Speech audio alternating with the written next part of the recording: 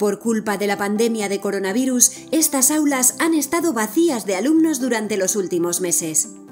El profesorado y las máquinas, en cambio, no han parado de trabajar. A principios de marzo recibieron un encargo, poner los conocimientos y la tecnología de la formación profesional en manos del Departamento de Salud.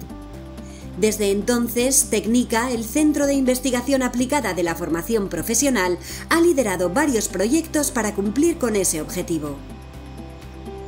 La falta de material para proteger a los profesionales sanitarios ha puesto en marcha el movimiento Maker, que empezó a fabricar pantallas de plástico con impresoras 3D.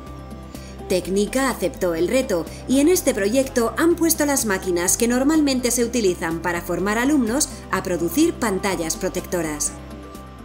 Ikusten ari ginen, e, maker mundutik, resistentzia eta COVID-19 eta bueno, oso aktibo ziren talde horiek e, bere diseinu bueno, desberdinak baloratzen ari ziren eta bueno, ba, guk egin genu, nahi genuen zan e, gure diseinua kontrastatu osak, osasun zailarekin logikoa da, e, pausoak edo gauzak egiten bagen ditu, nintzen bartuen mm, beharra bati, behar bat asetzeko, orduan horregatik e, nahi genuen osasun zailarekin eskutik e, bueno, egin behar genuena, ba, behaien eskutik e, garatzea eta egitea, ba, e, egiten genuena erabilgarria izan zitezen. En este proyecto se han implicado 59 centros de formación profesional. Las primeras 5.000 pantallas se enviaron al Departamento de Salud para que las repartieran en los hospitales. Después se han fabricado más de 20.000 y cada centro ha enviado sus pantallas a los centros de salud y residencias de mayores de su entorno. Ahora han decidido industrializar el proceso. Irude enpresioak bere limitazioa dauzka ba, seria hunditan fabrikatzeko eta mailerekin kontaktatu dugu eta beraiek ja molde bat garatu dute ba, serian fabrikatzeko beste sistema batekin edo ez dakite un edo berreun pieza e, orduko egin alizateko. Ha supuesto un enorme trabajo de coordinación enviar las pantallas desde donde se producen hasta donde se necesitan, así que en este otro proyecto están funcionando de otra manera.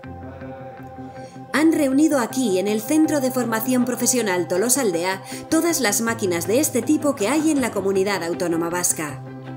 Son impresoras de estereolitografía y están fabricando hisopos o palitos para hacer los test que detectan el coronavirus. Estereolitografia da azken finean e, iru de fabrikazio, iru de impresioko teknologia bat, non erretxin likido bat e, laser bitartez e, fotopolimerizatzen da. La resina líquida es biocompatible y se solidifica mediante un haz de láser. Se le puede dar la forma y la dureza que se quiera, y en este caso a la punta le han dado forma de escobilla para que pueda recoger las muestras de la garganta sin necesidad de un algodón. Hacen falta 10 horas para imprimir una de estas bandejas de 324 piezas. Después se sumergen en un recipiente lleno de alcohol para retirar la resina sobrante y finalmente se desinfectan con luz ultravioleta. Hasta el momento han fabricado 3.000 hisopos y el Departamento de Salud ya los ha validado. Momentu honetan, isopoen kasuan e, daukaguna da gure makinak eta materialeak eta prest daukagu eta osasun zailak e, behar izango balu, ba, ba prest eukiko genuke gure sistema ba, beraiek e, pieza hauekin hornitzeko. Las investigadoras del Departamento de Biociencia y Sostenibilidad de Técnica han recibido el encargo de fabricar mascarillas. Junto con el reto se han presentado las primeras dificultades. Los materiales que normalmente se utilizan para fabricar mascarillas se traen de Asia y en estas circunstancias es imposible. El primer paso ha sido analizar las mascarillas que existen en el mercado para sustituir esos materiales por otros locales y sostenibles. Una línea muy importante de nuestro trabajo se enfoca hacia esa apuesta por la sostenibilidad y veíamos haciendo la caracterización de los materiales tanto aquí a través de los microscopios o tanto a través de otros parámetros que hemos ido midiendo también en estas mascarillas quirúrgicas, que todos los materiales que componen son materiales sintéticos y que en su proceso de elaboración también pues, eh, requieren y eh, realizan un fuerte impacto ambiental. Mascarillas sostenibles y seguras.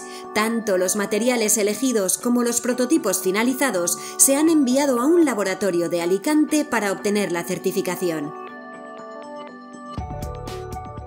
Fundamentalmente son tres los ensayos que tiene que pasar una mascarilla quirúrgica.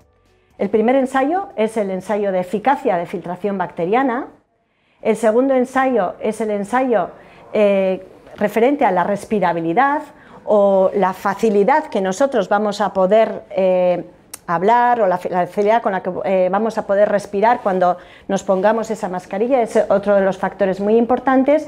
Y otro de los ensayos que tenemos que pasar para certificar nuestros productos es el ensayo de resistencia a las salpicaduras o SPLAS. Según la calificación obtenida en cada ensayo, las mascarillas quirúrgicas se clasifican en tres categorías y han obtenido certificaciones para las tres. Estas mascarillas son para profesionales sanitarios. Ahora que empezamos a salir del confinamiento, han empezado a crear mascarillas higiénicas dirigidas a la ciudadanía de a pie. Y además de sostenibles, quieren que sean reutilizables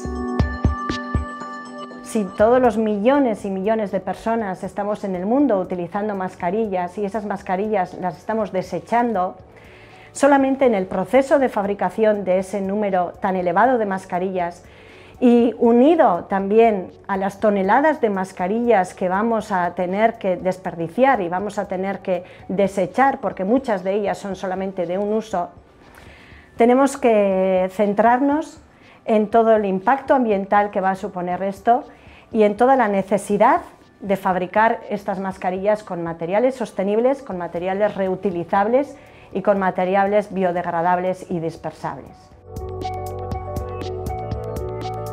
Estas otras mascarillas son transparentes. Están pensadas para facilitar la comunicación con las personas con deficiencias auditivas, para que puedan leer los labios o percibir los gestos faciales.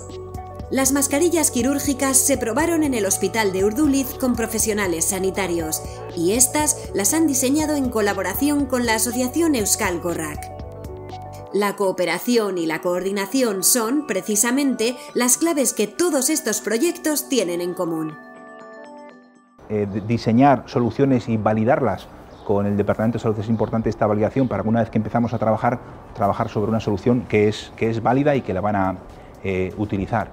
Coordinación, eh, pues desde el grupo de Maker con el que hemos colaborado y hemos compartido eh, información, colaboración con los centros, 59 centros de formación profesional que han participado tanto en la eh, fabricación de mascarillas como de pantallas y diferentes equipos, coordinación con empresas bueno, y sobre todo nuestra red de centros coordinando un poco el trabajo con, todos. Yo creo que esa es la, clave de esta aventura.